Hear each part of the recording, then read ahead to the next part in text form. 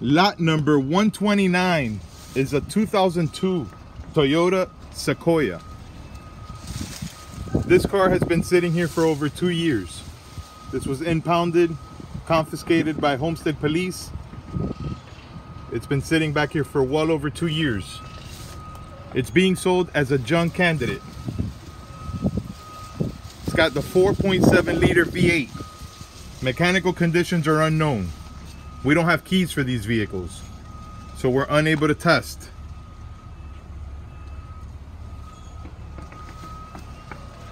The body looks straight. As far as I can see, there's no major damage anywhere. The headlights are dull, the paint is faded, the roof is dented. And let me show you the, the best I could.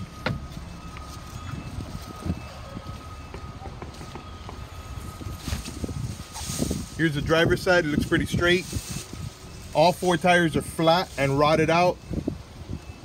This will need to be towed away on a flatbed tow truck because none of the tires are any good. On the back here, the back window is broken, so it's been getting rained in. It's very moldy inside and dirty. Rear bumper is dented and scratched or cracked.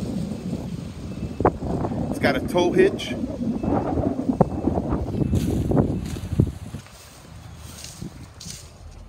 It's leather inside. The leather looks bad, dried, cracked. Headliner looks good, just dirty. Let me open the back door.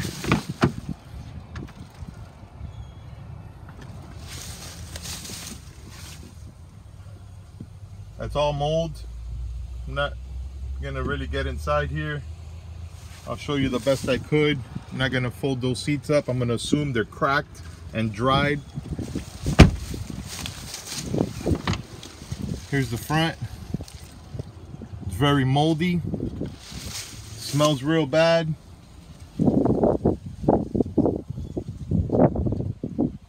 It's a lot of junk in here.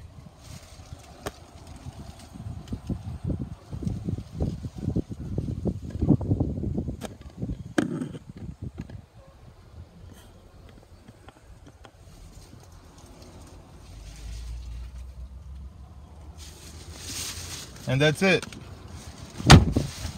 This is great to take it straight to the junkyard from here. A Toyota Sequoia junk candidate. Good luck.